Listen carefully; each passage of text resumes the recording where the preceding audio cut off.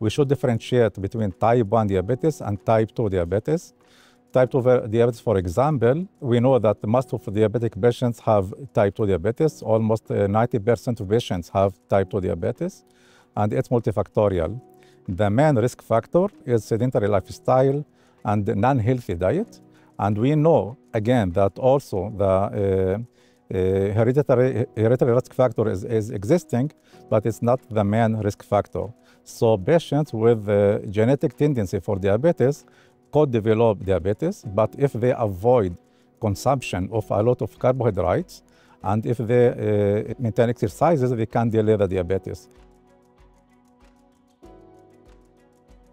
For type 1 diabetes, we know that uh, the, uh, it's different disease, and uh, type 1 diabetes uh, uh, is caused by autoimmune disease that, that cause destruction of beta cells in the pancreas. It's more common in, in families with other autoimmune diseases like Hashimoto thyroiditis, Graves' disease, celiac disease, and the genetic tendency is very low in type 1 but still exists. And it's very important because if uh, nowadays we have treatment for patients with uh, high glucose but without diabetes and positive autoantibodies, and we can give them treatment that can delay or prevent for months or years the development of type 1 diabetes. So it's very important to know if the patient has risk factors and also slightly high glucose in order to give him these treatments that can delay the disease. Our goal is to diagnose the patient before he, he is coming symptomatic patient. Okay, so the, our recommendations for type 2 diabetes for every adult above 10, uh, 18 years old with BMI is just a marker of uh, overweight more than 25 and other risk factors for type 2 diabetes like family history of diabetes, polycystic kidney, hypertension, cigarette smoking, lifestyle, uh, sedentary lifestyle, all of these people should start making screening tests for diabetes starting at age of 18 years old. And if, if the blood glucose is normal, you should repeat it after every three years.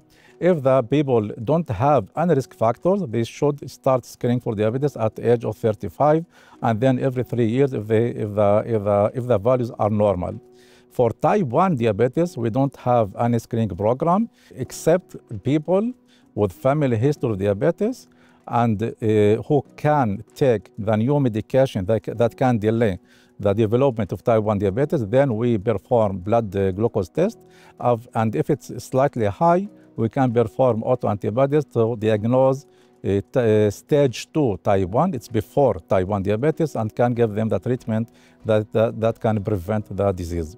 About symptoms, if the uh, patient doesn't have any blood test and just wait for the symptoms to be, to, to, to be existing, and that symptoms include uh, uh, uh, polyurination, uh, it, that include the loss of weight, include uh, the feeling of thirsty, weakness, tiredness, and also tendency for infections, mainly the genital infections in women. These are the symptoms, but again, we should not wait for these symptoms to start. Other important thing, some 1 diabetic patients, the, first manifestation of disease could be very extreme situation, diabetic ketoacidosis. It's very, very extreme thing. And uh, in this case, they feel abdominal pain, nausea, sometimes vomiting, with difficulties in breathing. And these situations uh, need uh, hospitalization in order to diagnose DKA and treat these patients because otherwise it could be life-threatening. We know that uh, in 1922, the first person who prescribed insulin in the history. And uh, after that, we, we have only insulin for these patients. But nowadays, the technologies are, uh, are very developed and they reduce the burden of the disease from the patients. It started with the insulin pump. After that, the, the glucose sensor. And nowadays, we, we have closed loop hybridic system like artificial pancreas, that there is a sensor that measures glucose all the time, and the, this data is transformed to the pump that uh, infuse insulin, and the, this pump is very smart, very smart pump that take the data and, uh, uh, and decide how much insulin all the time give the patient. And by this algorithm, the pump keep the glucose in the normal or the target range without very high glucose and also without a lot of events of hypoglycemia. The one thing that the patient should do in this technique, just to tell the pump that he want to eat and how much uh, grams of carbohydrate he want to eat in order to prepare the pump to give him enough uh, insulin for the, uh, for the meal itself. Otherwise, the, the pump make all the work and the patient can be relaxed from the point of view of hypoglycemia and uh, deal with his life uh, without the stress of the burden of hypoglycemia or severe hyperglycemia. Maybe I will disappoint the patients that nowadays we can't cure type 1 diabetes. But we hopefully can do that in the next years, maybe, because we know that there is a lot of uh, research about engineer, engineering beta cells of the pancreas that secrete the insulin.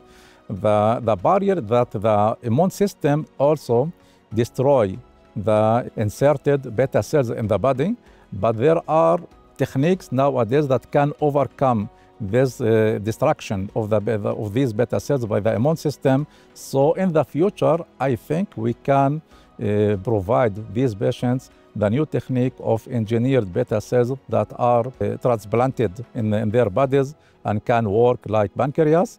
Uh, it was tested before, but uh, it was effective only for a few months, sometimes one year to two years. So it's not uh, available right now for the patients because it's not enough. But uh, in the next years, I think it will be uh, more effective and more durable for long duration, and we can maybe cure type 1 diabetes. We have a lot of things to speak about type 2 diabetes because there are a lot of medications and new medications for type 2 diabetes. But I want to emphasize type 2 diabetes is not just hyperglycemia, it's not just high glucose.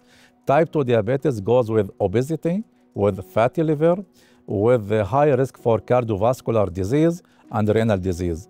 And nowadays we have a lot of medications that are effective for control blood glucose and also protect the kidney, protect heart, and protect liver.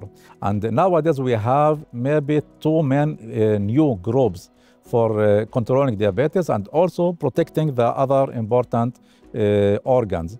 Like SGLT2 inhibitors are uh, pills that cause the, uh, the glucose to be uh, extracted from the body by the urine and by that balance the glucose, but also it uh, protects heart failure and also prevent the, uh, the chronic kidney disease impairment. And other medications, GLP-1 receptor analog, these medications are uh, subcutaneous injectable medications that we give the patients once weekly.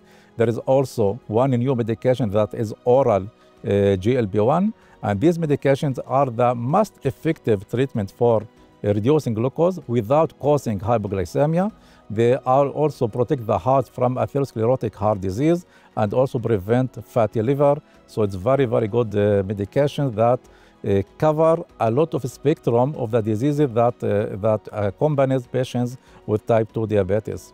And we know that some of these medications are so effective in reducing weight and nowadays they are approved for patients with obesity even without diabetes, like Wegovy, for example, that reduce weight by 15%. And there is a new medication, Mounjaro. It's just uh, in, in, limited distribution in the world right, uh, right now, but I think it will be in every country in the next uh, months, and it reduces the weight by about uh, uh, 22, 25%. So in some cases, it can replace even bariatric surgery for some patients. So there are a lot of things that uh, patients can dream about, and these medications are very, very effective for these patients. In the future, we know that will be new medications, new molecules that will be more effective in glucose controlling and more effective in weight reduction and also for uh, protecting other uh, organs like liver, again, kidney and heart. So we have a lot of medication that can keep the life of diabetic patients very, very well controlled without the complications of the disease.